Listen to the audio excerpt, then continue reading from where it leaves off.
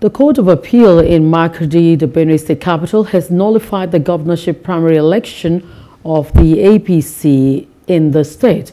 The court also ordered the APC to conduct a fresh governorship primary election within 14 days, while ordering the supposed elected candidate Hyacinth Alia and the APC to pay one of the party's governorship aspirants, Professor Terhemba Shija, 2 million naira the court gave the order while ruling on the appeal filed by Professor Shija against the judgment of the Federal High Court in Makurdi, which dismissed his suit challenging the APC governorship primary in the state, which produced Hyacinth Alia as candidate. Delivering the lead judgment, Justice Biobele Abraham got Judge Will held that Professor Shija was able to prove that there was no conduct of primary election by the APC on May 27, 2022. The law did not in any way bar APC for presenting a candidate. The Lord only ordered for a rerun in 11 local government. It's still an internal affair of the party. I have no right to conclude now, but we will advise, I mean, we will get the judgment, study it, brief our client, and take the instruction therefrom. At the judgment today, uh, all the other four cases were thrown out, or trashed out, um, except one uh, that the court directed that APC should go back to the 11 local governments to do a rerun of the elections.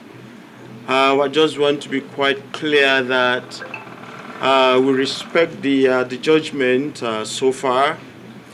Uh, all I am appealing at the party faithfuls and to the fans is simply that please remain very calm. Uh, everything is under our control.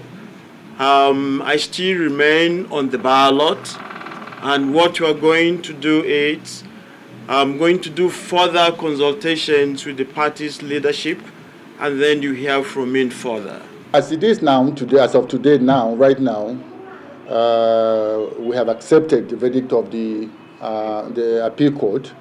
Uh, and as far as the details of the judgment, the legal team will look at it for the purpose of this uh, ruling today. I have not uh, had audience with him.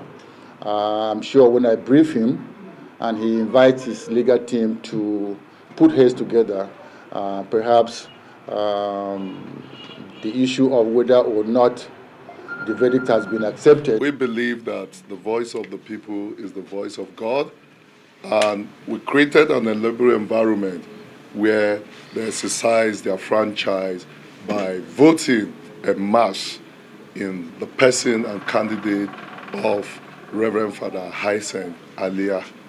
And of course, my appeal to the teeming supporters across the 278 wards of Benue State is that nothing has happened. They should remain calm, they should be law abiding.